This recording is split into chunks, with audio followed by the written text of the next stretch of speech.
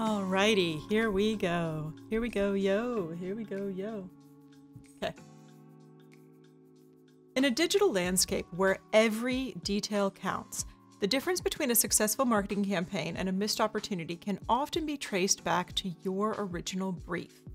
Today, we're going to dive into how to craft a digital marketing brief that not only communicates your vision, but does so in a way that maximizes results. From pinpointing your primary objectives to avoiding common pitfalls, we're covering the essential steps to ensure that your digital marketing partner can bring your vision to life. Whether you're aiming to boost online sales, increase engagement, or capture a larger audience, the journey to impactful results begins with a clear, concise, and effective brief. Let's get into it. Hi, and welcome or welcome back to Headtraining, the series where digital marketing meets the wonderful world of wine. I'm Polly Hammond, founder of 5forests, and today we are diving into the art of crafting a digital marketing brief that commands results. Stay with me, and you'll uncover how to communicate your vision, objectives, and expectations in a way that empowers your digital marketing partner to deliver not just what you ask for, but something that exceeds your expectations. Get ready for a session filled with insider tips, that's us, and actionable advice that will elevate your digital marketing strategies to new heights. At 5forests, we see dozens of RFPs, client briefs, we sit through meetings, we go through the proposal process, and today I want to talk about what makes a difference in getting the right partner, getting the best out of them, getting the right proposal, getting a budget that meets what you really want, how to ensure that there are no gaps between what you think you want and what you can actually manage, what you can afford, what your capabilities in house are. We deal with this all the time, and these are my insider tips. So let's talk through it.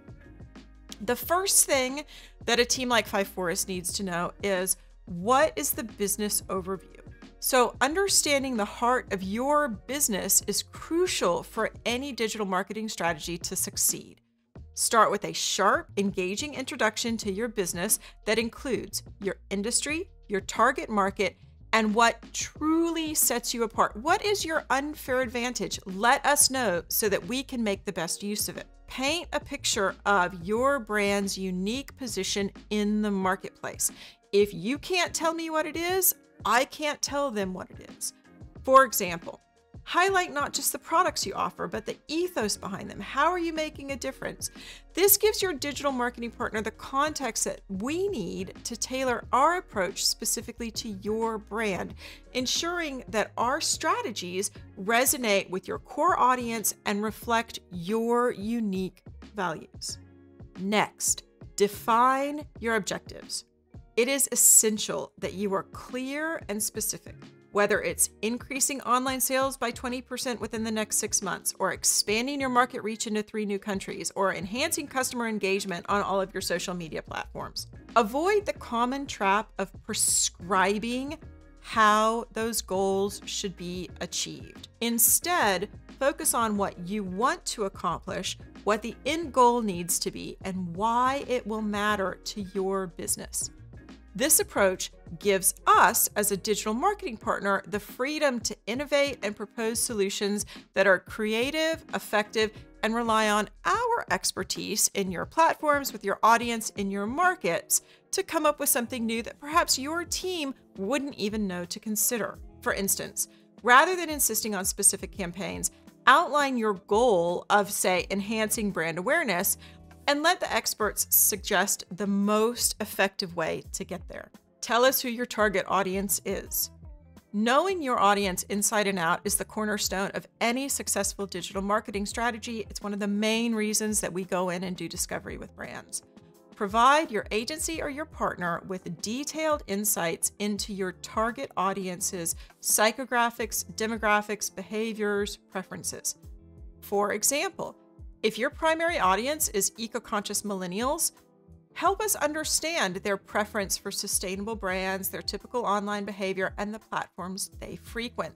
The more you can tell us, the lower our research budget can be, quite honestly. Also, the better your in house marketing will be. This precision allows your digital marketing partner to create campaigns, websites, advertising, marketing, collateral that resonate on a personal level, increasing engagement and conversion rates. So, this is not just about reaching people, the throw a wide net approach. It's about reaching the right people in the right way, or what we've always said, it's about sharing the right message to the right people at the right time. Another one that seems so obvious, but actually comes up quite often in work that we do is make certain that you have documented brand guidelines to share with your marketing partner. So, your brand's identity needs to shine through every aspect of your digital presence.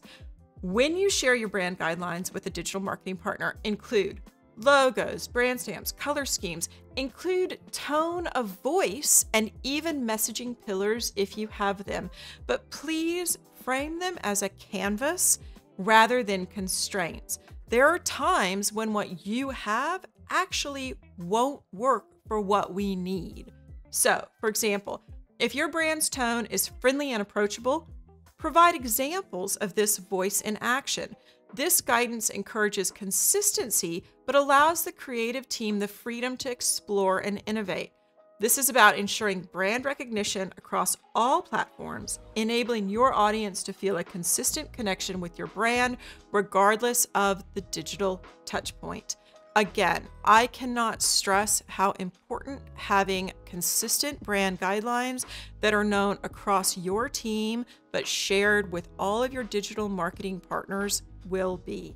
I've actually just spent this past week having to recreate brand guidelines for a client because a disgruntled employee left with all of their vector files. We often will have to adapt brand guidelines to match accessibility requirements or because we don't have fonts that are appropriate for an aging audience. There are so many ways that good digital marketing teams who know what they're doing will want to be able to work with you to retain your brand identity, but also make it apply to what you need. And good digital marketing partners will actually act like the guardians of your brand when perhaps even sometimes in house marketers won't. Okay, so this is an interesting one. Identifying key features. I think this is important, but I also want to give you some warnings, a little bit of caution. So, identifying key features for a website or campaign is critical. Clearly list your must haves. Um, so funny, most of the ones that we get are just table stakes these days. Of course, you need a user friendly interface. Of course, you need mobile compat- compatibility. Do you need, though, a blog? Do you need recipe integrations? Do you need events? So, tell us what you have, what you need, what strategy has dictated that you will want to grow. Don't tell us how to do it. Don't tell your marketing partner how to get there or how to implement it. For instance, Stating the need for an intuitive navigation structure that enhances user experience means absolutely nothing to us because we already know how to do that. Saying that we have a robust food program that supports significant advertising across our geo targeted area tells us that we know we need to go in and build all of the information architecture, all of the internal structures that can support that food program in a resilient, ongoing way. This method focuses on the outcomes and it gives your digital marketing partners the freedom, again, to innovate solutions that meet your requirements and exceed your expectations. Next up, what we really need to know is your market context. Understanding the landscape in which your business operates can significantly enhance your digital marketing structure, duh, but it can also help us work so much faster, stay on budget, make the process easier, less stressful, happier for your team. So, when you're discussing market context in your brief, please mention key competitors, mention industry benchmarks, mention what you like and what you don't like from those competitors. Highlight what you admire about them. For instance, let's say that a competitor excels in customer engagement through social media Acknowledge this as a benchmark for your own strategy. This does not mean copying what they do. It means letting your digital partner know that you are striving for the same kind of excellence by understanding the market standards.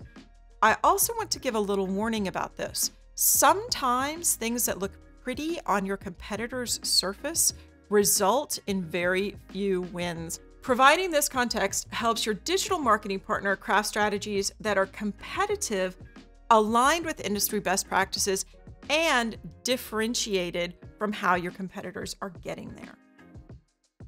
Oh, oh, the biggie budget and timeline. This is where I think there's a profound gap between what people want, what they think they want, and what they say they want. So, when a digital marketing agency asks you about your budget and timeline, they're not trying to screw you out of extra money. They're trying to propose what they can offer best for the budget that you have. Clear communication about your budget and timeline is pivotal for setting realistic expectations. Be upfront about your financial constraints and desired completion date.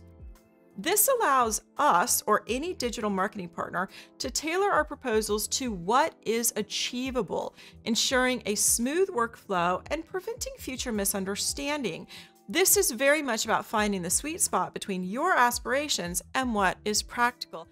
All right, success metrics. Um, the question, I know this is always such a silly question, we ask it as well, is, you know, what does success for this project look like? But sometimes, if you're a marketer, if you're a marketing stakeholder, if you're not the ultimate decision maker or the brand owner, understanding what the real goals of a project may be is not always the same as articulating what the what we believe to be what someone believes to be the goal of the project. So define the success metrics up front in your brief to ensure that both you and your digital marketing partner have a clear understanding of where this is going. So, examples are it could be an increase in website traffic by 30%. It could be a 20% growth in online sales. It could be boosting social media engagement. It could be driving email marketing. It could be uh, it could be quadrupling the number of club members that you have. I would also say, although Forest works specifically in wine, so technical jargon is totally fine with us. If you're in the wine industry and you're going out with a, a broad uh, request for proposal, you're sending your brief across to uh, industry's partners who don't work in the wine industry, you need to either define or avoid technical jargon and focus on measurable outcomes. Uh, uh, one reason to work with an agency, especially in the alcohol industry, that knows your industry is there are constraints that are imposed upon your marketing because of advertising standards. Uh, so, again, I would include anything relative to your industry in a brief if you were going out to agencies who don't have a demonstrated track record of working within your industry. So, all of this helps set the benchmark for how your campaigns are going to roll out, what is effective, where you're going to need adjustments, where you're going to need education, where you're going to need optimization. Along the same lines as success metrics, articulate your post launch expectations. So, a good relationship with a digital marketing partner doesn't end at a launch date. Clarify your expectations for ongoing support and maintenance whether you require monthly performance reports, continuous SEO optimization, regular content updates. Outline these needs without delving into the minutiae of how they should be carried out. This foresight will ensure a lasting partnership geared toward continuous improvement. This is also what will prevent you from having to rebuild a site sometimes a very expensive site, every three years, or onboard a new uh, digital marketing partner every 18 months. Make it really clear about what you would like to have from them. Can they do it? That will help you early in the process understand if this is the right partner for you. All right, so let's just rapidly go through some common pitfalls that we see in briefs that we receive and how you can avoid these pitfalls if you are creating a brief now or in the future. one, lack of clarity. Be precise in your objectives and expectations. Vague briefs can lead to misinterpretation and unsatisfactory results. I have to tell you, a client who comes to us and says, We don't know what we want, but we'll know it when we see it, is like the biggest red flag, and we're just going to run in the opposite direction. At the same time, avoid over specification. Yes, details are important, but too much specification on how tasks should be executed will not only stifle creativity, but will actually treat your digital agency like toolers. They're good at what they do for a reason. They know how your platforms work. They know what the, how the market works. Let them focus on the how, and you can focus on the what. Big, big one inadequate budget or unrealistic expectations. There are all different kinds of agencies out there. There are all different kinds of providers. We all sit in different bands in the market.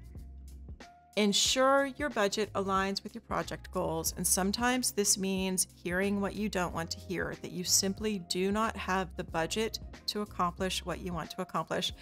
And it, the, the joke when we receive these briefs are things like, well, Amazon does it. Well, yes. And we have, you know, well, the Washington Post does it. Well, Nike does it. Yes. And if you have the same budget as Amazon, the Washington Post, or Nike, we can accomplish most things for you. But this is not the reality of the wine industry that we live in right now. Uh, so underestimating cost, expecting too much for too little, can lead to disappointment. And these are these are terrible emails for us to have to receive as well because I want to accomplish good things for clients, for potential clients, for prospects, and it's awful having to go out to them and say, I'm, I'm sorry, there's no way to make this happen within your budget. And it's awful to also receive the emails, which does happen, where someone is pissed off because our fees are more than they had any idea that, that digital marketing should cost. So, if we're talking about a website project, neglecting accessibility as a requirement you should be able to say to someone, you want a website that's built from the ground up to be accessible without the use of overlays. This is so important in the US and in Canada right now. If you want a deep dive into accessibility and overlays, we've got an article about that on the 5forests website. But the point is, this needs to be documented in your brief. Inadequate competitor analysis is a pitfall, but it's a budget pitfall. So if you can tell us, if you can tell any agency what your competitive set looks like and what research you've done, they can get to a solution faster. Research on a project comprises a huge introductory portion of your timeline and your budget. Help your agency work smarter and faster by giving them as much as you know. And last but not least, consistent clear communication with your digital marketing partner is essential. A good agency can overcome just about any problem if you can have clear, honest, and open communication. Whether that's we're having budget issues, whether that's we've lost our photographer, whether that's we're unhappy with how something is working. Be honest, non emotive, and together, generally, you, as the client, and they, as the agency, can solve those problems.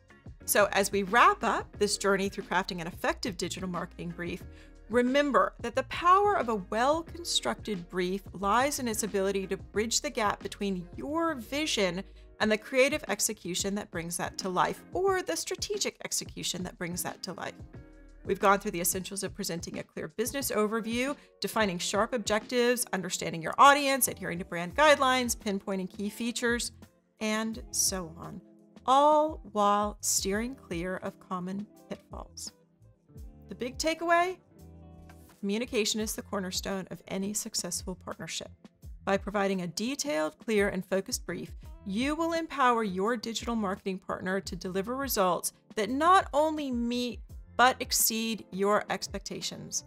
Remember, your brief is not a list of demands, it's the roadmap that guides the entire project. It's about collaboration, it's about understanding, and it's about shared goals. And I can tell you, there is nothing better than hearing from one of your clients that the work that you have done has blown them away because it's been so good, so helpful, or so profitable. This is what a good agency lives for. As you embark upon whatever your next marketing project is, take these insights. I encourage you to tailor them to fit your needs and objectives. Write a well crafted brief, commission an outstanding project, and lay the groundwork for a successful digital marketing strategy that resonates with your audience, that amplifies your brand, that achieves your business goals. That's a wrap for today's episode on crafting the perfect brief. Join me next time for more smart marketing for better wineries. Until then, don't forget to like and subscribe. It makes a big difference to me doing this every week. As always, reach out to our 5forests team if you have any questions about your winery marketing. See you soon.